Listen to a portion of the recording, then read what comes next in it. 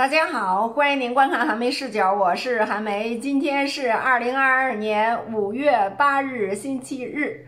啊，这个视频呢，我问大家一个问题，就是呢，最近美国在炒作说俄罗斯呢会使用核武器。那俄罗斯回应说呢，他们没有计划，也不会在乌克兰使用核武器。这个话说的呢，就比较有技巧了。这话并不排除俄罗斯使用核武器，其实它只是呢不会在乌克兰使用。那它会在哪儿使用呢？这就是我今天这个视频想要讨论的一个问题。你认为俄罗斯如果是投放核武器的话，它会在哪儿使用？前两天的时候，我不知道大家有没有注意有一个事儿。就是五月五号的时候啊，《环球时报》的前总编胡锡进，他在这个推特里头啊，在他账号里用英文写了一个推文，翻译成中文呢就是这样的：韩国若与邻居为敌，便是乌克兰的下场。好，他这条推文发出去以后呢，马上就在韩国引起来了轩然大波呀，因为他说的是韩国嘛，哈。那韩国各大媒体呢就竞相报道，并且呢，他们还上纲上线儿，认为这个胡锡进呀就代表着中国政府，说胡锡进能发这样的一个推文，这就是中国政府对韩国的一种威胁。有一个韩国的专家呢，就对韩国的一个电视台发表了他的评论。他说呢，他说胡锡进的言论非常的无理，而且严重违背了中国的和平共处五项原则。俄罗斯是侵略国家，如果中国也像俄罗斯一样，那将是非常危险的事情。很显然呢，他们就认为啊，胡锡进的这个话的意思是说中国会入侵韩国。其实胡锡进怎么会是有这个意思呢？我一看胡锡进那个推文呢，他就是提醒韩国，如果你再逼你的邻居的话，他邻居是谁呀？你韩国你也有好几个邻居啊，中国是你唯一的邻居吗？对不对？那你最紧密的邻居，跟你挨得最近的那邻居，不就是朝鲜吗？韩国新当选的总统尹锡悦。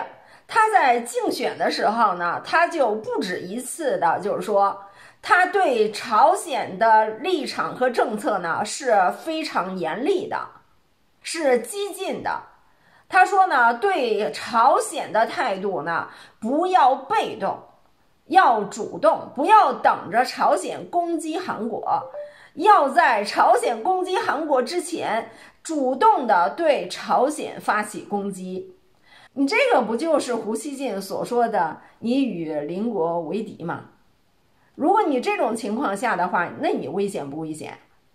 朝鲜就说了，如果你敢轻举妄动的话，我们就核武器伺候了。朝鲜现在是有能力的，他并不是没有能力呀。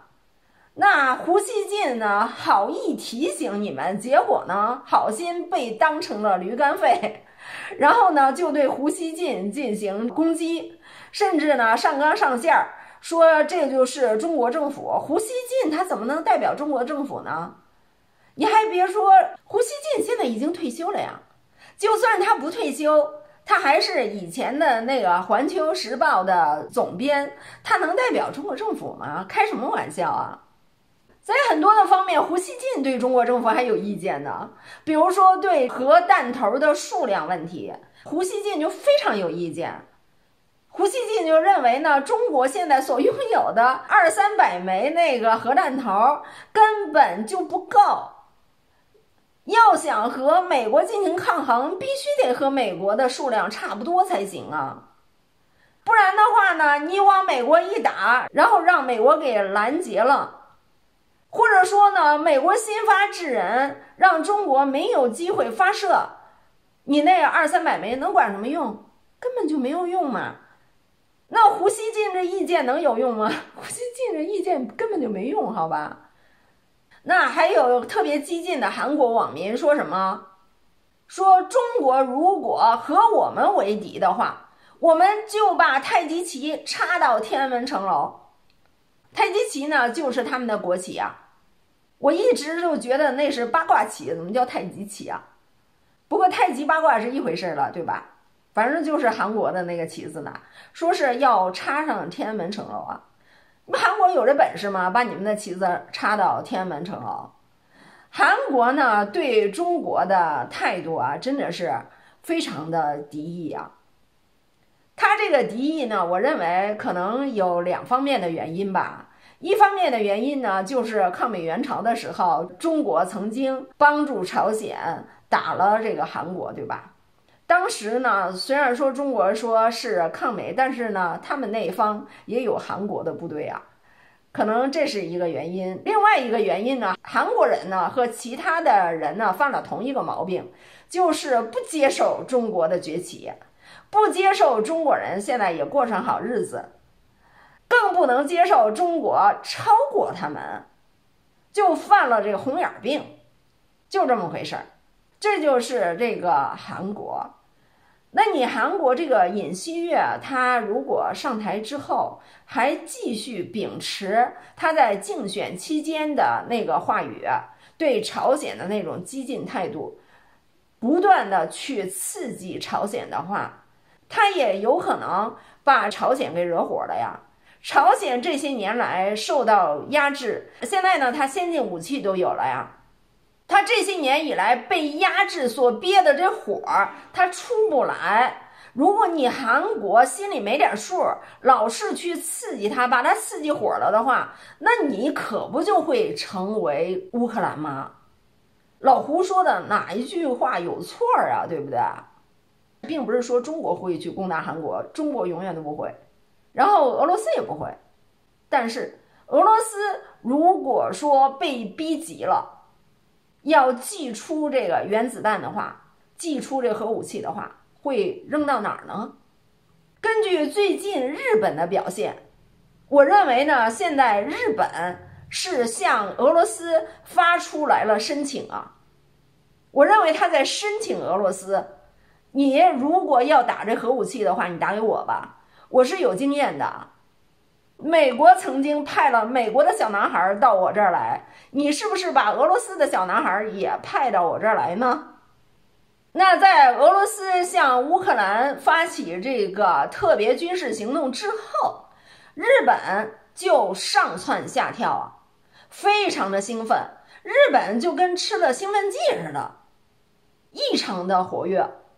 首先就站出来，跟着美国一起站出来呢，对俄罗斯进行谴责。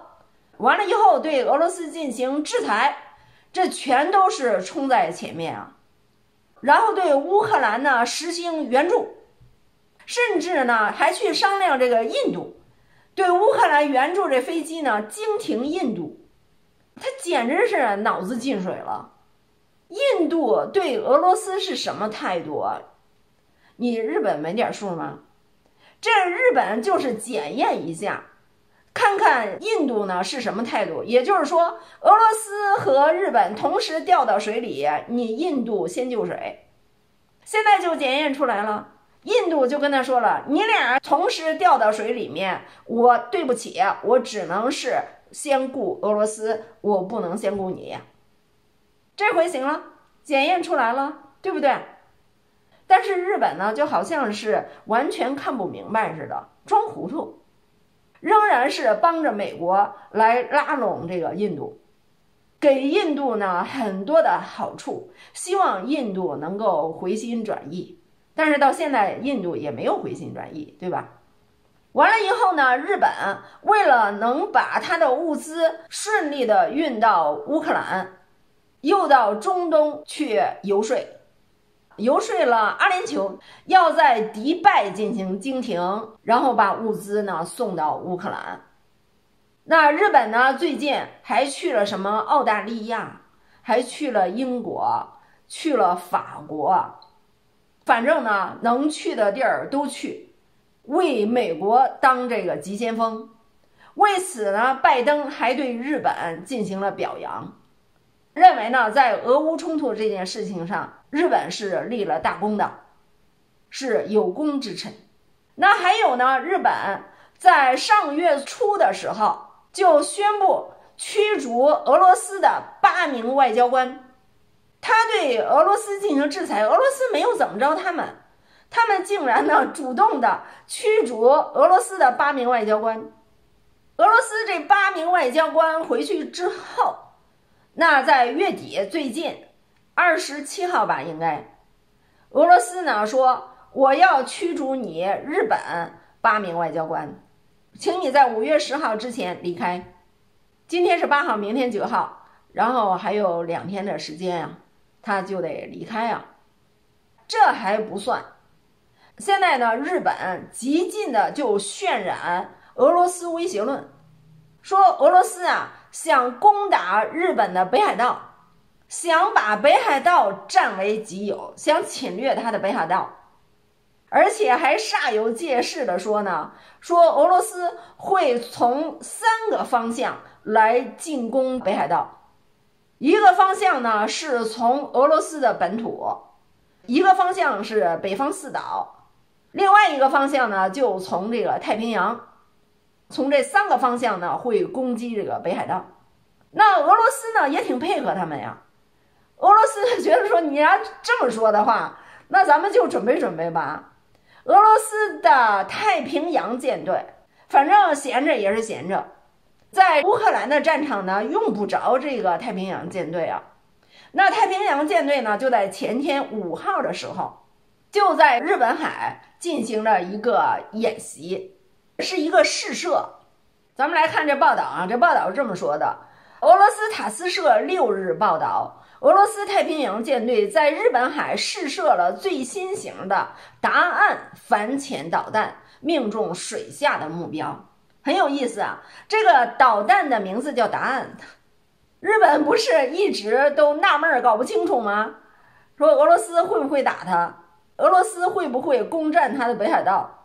然后呢，俄罗斯就试射了一个导弹，叫“答案”，告诉你日本，这就是答案。攻占你北海道的这件事儿可以有，可以有。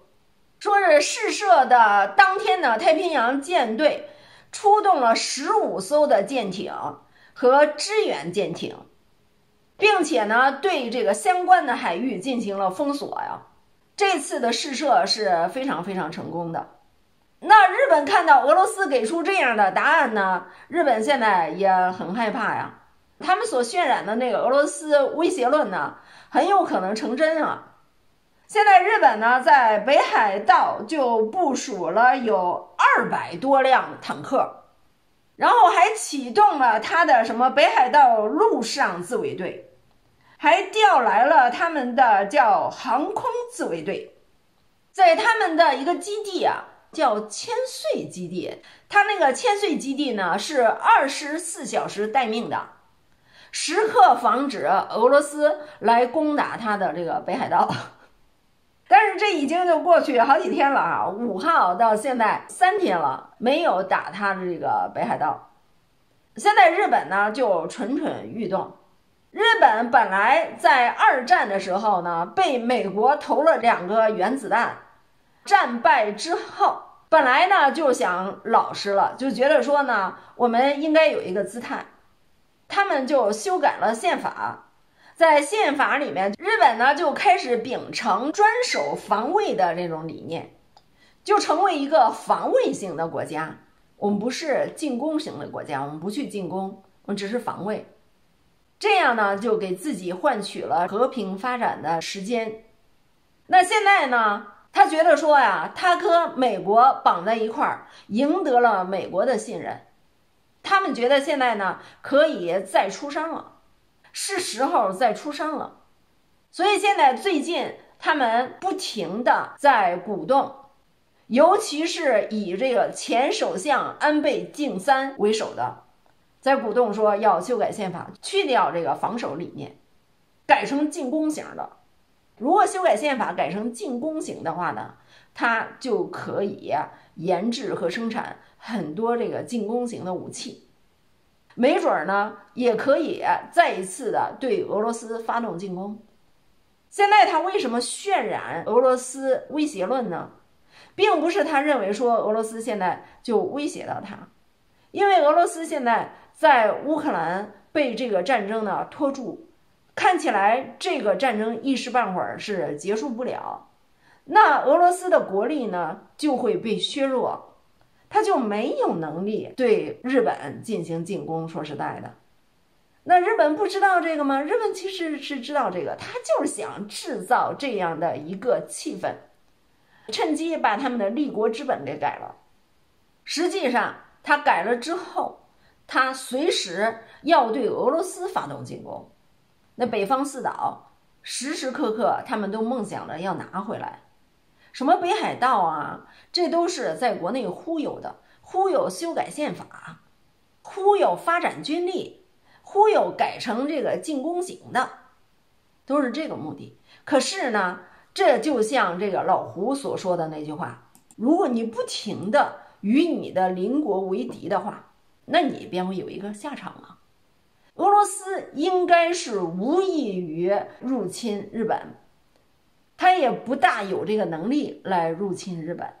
但是你日本如果老是来刺激这个俄罗斯的话，俄罗斯在乌克兰这个战场上，如果说被逼到一定的程度的话，他又不能够正面的和北约进行冲突，那他怎么办？他就会杀鸡给猴看。这个鸡是谁呀？就是日本。日本，你不是有经验吗？日本，你历史上你不是全世界唯一的一个国家吃了两颗原子弹吗？对不对？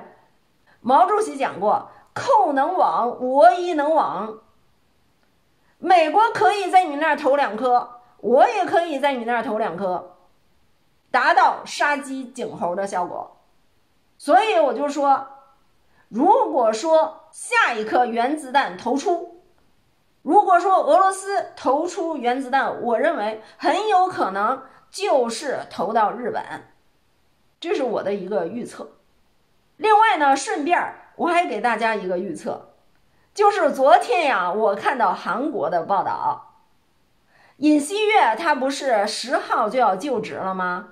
九号的时候，也就是韩国呢现在正在睡觉，对吧？等他起床以后啊，今天就是文在寅当总统的最后一天了。